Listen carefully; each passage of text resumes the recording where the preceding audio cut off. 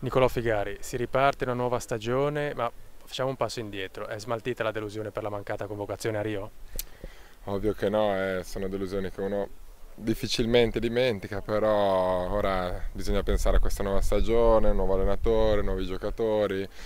Gli obiettivi rimangono invece sempre gli stessi, l'anno scorso non siamo riusciti a centrare in pieno tutti quanti, quindi bisogna concentrarsi su questo. Sei qua dal 2008, quindi toccherà anche ai veterani come te far sì che i giovani riescano a inserirsi in maniera ottimale. Sono giovani comunque volenterosi, daremo una mano noi che siamo qui da un po' più tempo. Li conosco, so che hanno voglia di mettersi in mostra e questo è il posto giusto.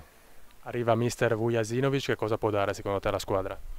Io a livello di allenatore non, non lo conosco ancora così bene, l'ho visto fare grandi cose con i giovani del Partizan con la nazionale, quindi potrà, potrà dare sicuramente molto, soprattutto a quelli come me difensori, visto che lui è stato il più forte della storia, forse, quindi potrà solo che aggiungere qualità alla nostra squadra.